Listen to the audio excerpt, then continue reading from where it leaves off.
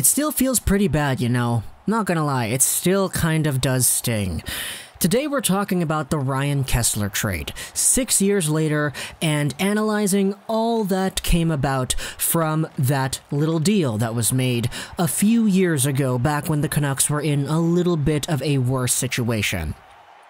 Now, I did make this video two years ago, back when the trade was only four years old. In the summer of 2018, I sat down and I made a video revisiting the Ryan Kesler trade, and I think I did a really good job explaining the trade tree and how things have worked out up to that point from that Ryan Kesler trade. Now, that's going to be updated a little bit here today, but mostly the reason we're talking about this here is because I thought it would be fun to take a little bit of a trip down memory lane and analyze who Kesler was for the Canucks, why he was so great, and what the Canucks eventually did when the trade rumors started to come up and eventually the trade did happen. Ryan Kesler was a guy who was really important for Vancouver Canucks history because up until Quinn Hughes, Kesler was the only Canucks prospect in a long time to play in the NHL immediately after getting drafted. Or at least, not immediately, but in the same year after getting drafted. Kesler did that after getting drafted by the Canucks in the 2003 NHL entry draft. He signed a contract, played with the Moose for 2003 2004, and then at the end of that season made his Vancouver Canucks debut. Kesler was the last one to do it for a long time until Quinn Hughes signed his contract and played with the Vancouver Canucks in his draft plus one year after playing with the Wolverines.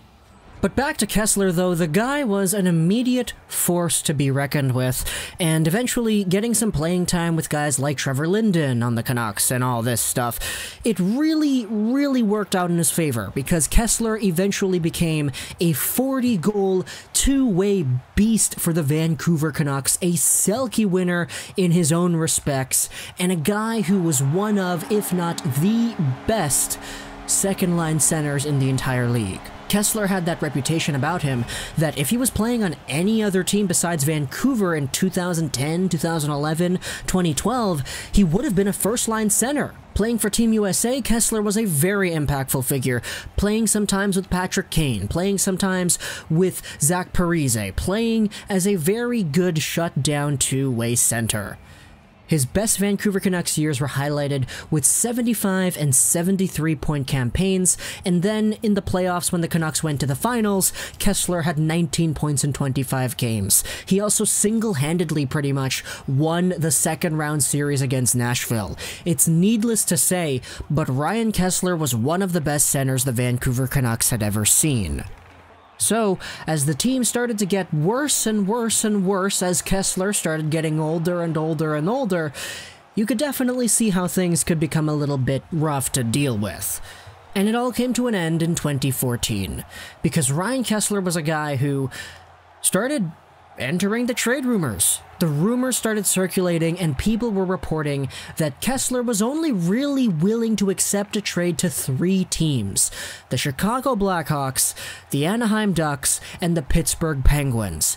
Kesler's goal was to win a championship, and he wanted to do that with the teams that were considered to be the best teams in the league and the teams that you could probably easily win a championship with at that time. Jim Benning was the new guy in town at this time frame as well. Mike Gillis had recently gotten fired, the Torts year wrapped up, and it wasn't really a great year. There was a game the Canucks were playing against the Anaheim Ducks where they were losing, and if the Vancouver Canucks lost this game, they would have been out of the playoffs and would have had no mathematical chance of getting back into the playoffs, no matter how many games they won. Once the third period started counting down, the Vancouver Canucks were down in the scoreboard. The Canucks would have been eliminated from the playoffs once the game was over. The crowd started chanting, Fire Gillis. And that was what happened. It was very interesting to watch. Gillis was fired right after. Enter Jim Benning, the guy who is coming over from the Boston Bruins management team and taking over the Vancouver Canucks. He eventually fed into the Ryan Kesler trade requests and traded him to one of Anaheim, Chicago, or Pittsburgh. In this case, it was Anaheim, and the Vancouver Canucks got a package that wasn't really all too great. It was Ryan Kesler and a 2015 third for a first round pick in 2014, Lucas Sbisa, Nick Bonino, and a 2014 third round pick, which the Canucks immediately flipped over to New York in exchange for Derek Dorsett. Now, Dorsett was honestly really good with the Vancouver Canucks before he was forced to retire, so I'm not going to really talk about that. But Kesler for Sbisa, Bonino, and a first. The first ended up becoming Jared McCann, who got traded eventually and he's now on Pittsburgh. We talked about the revitalization of Jared McCann's career a little bit earlier. But Lucas Sbisa and Nick Bonino. Oh boy. Nick Bonino is a guy whose skating never really allowed him to become amazing with the Vancouver Canucks, and Lucas Sbisa towards the end of his tenure here was just really, really not great. A lot of these other assets that the Vancouver Canucks were able to get were also flipped as well. Jared McCann was eventually traded with a few other things for Erik Gudbranson, and the Vancouver Canucks used some of these other draft picks they got to get William Lockwood and Cole Candella. Nick Bonino was traded along with some other stuff for Brandon Sutter, and now we have ourselves a trade tree that looks like this. Now, if you swap Erik Gudbranson out for Tanner Pearson, this all of a sudden looks much better. Ryan Kesler a third, Bieksa Forsling a second, and a fourth in exchange for Tanner Pearson, Lucas Sbisa, who eventually did just get picked up by the Vegas Golden Knights, so he's gone now, Brandon Sutter, who is still here, Derek Dorsett, who had to retire, William Lockwood, who's in the system, and Cole Candella, who the Canucks don't even have the rights to anymore. It doesn't really look all too great aside from that Tanner Pearson. If it wasn't for Tanner Pearson, this trade would have looked much, much, much worse. Kesler a third, Bieksa Forsling a second, and a fourth is a lot of value, especially considering that Ryan Kesler was still seen as a very, very good NHL player at the time he was traded. He was a top Selke candidate after when he was playing with the Anaheim Ducks. And playing with the Ducks, Ryan Kesler still was able to get 47, 53, 58 points in the next few years.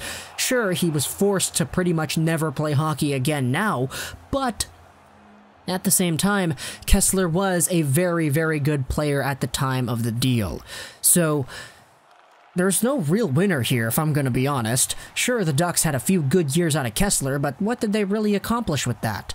Sure, the Vancouver Canucks traded Kesler and a whole bunch of other stuff for Gudbranson, Sbisa, and Sutter, but Gudbranson turned into Pearson. Lockwood is looking like a good NHL prospect. Sure, Derek Dorsett is out, but the Canucks still have a few more years to develop with these prospects it's not really a win-win situation for anybody, especially considering the fact that Jared McCann, the number one prospect in the deal, is now doing things with the team that he wasn't even traded to in Florida, and he's now in Pittsburgh.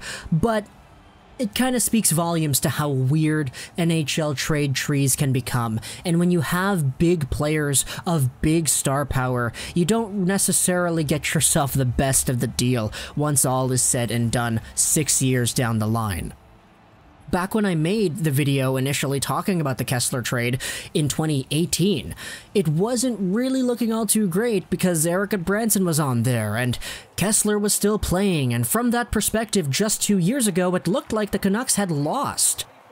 But now Kesler is pretty much out of the game. Kevin Bieksa is out of the game too. The Kes and Juice podcast is awesome.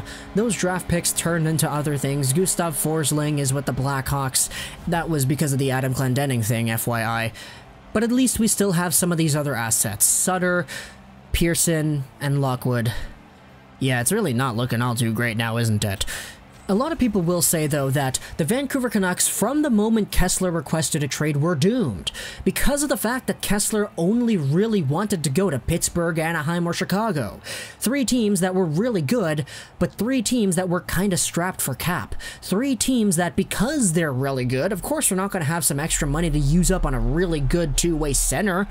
The Anaheim deal for Bonino and Sbisa was one of the only real options the Vancouver Canucks had when it came to trading Kesler, and because Jim Benning was the new guy in town, he had no real reason to keep him, especially since he wanted to play elsewhere. So, the Canucks were kind of doomed from the moment he asked for a trade, and now we're taking a look at it six years later and saying, yeah, there wasn't really any legitimate winner out of any of these teams that were involved. And it's just kind of unfortunate to see it that way. So I hope you enjoyed this video, search that Charles 99, and bye.